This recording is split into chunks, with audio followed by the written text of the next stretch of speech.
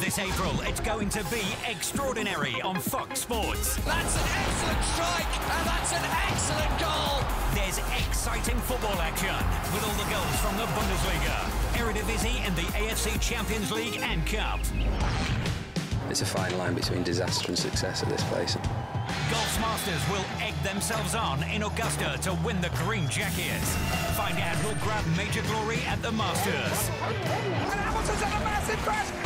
This is a ride of a lifetime. The scramble for points is on. The race against time and the MotoGP season continues with live coverage. Oh, just like that. And there'll be shell to pay in the UFC. Catch the hard-boiled bouts from the octagon. So get set for an excellent April on the Fox Sports Network.